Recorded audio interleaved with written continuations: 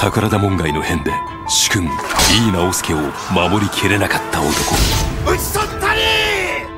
何としても首を上げたまえでどうか切腹をお申し付けくださいませ。13年もの間彼はただ敵を探し続けていた。桜田騒動に関わった者を探しておる。えいしこい！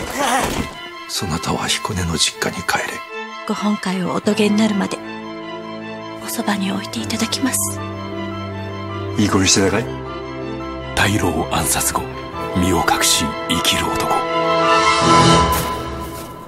運命の二人が出会ったその日時代は仇討ちを禁じた。妻子はおられるか？男やむめでございます。若い自分にとんだ親不幸しちまったもんで生きちゃいられないようなことになっちまいやして。実はそれがしも同じ親不幸をした激動の時代をひたむきに生きた男たち。そして二人を支える女たち。仇討ち禁止令が出たその日にたどり着いた結末とは。その身が尽きる時までは懸命に生きよということよ。ザクロ坂の仇討ち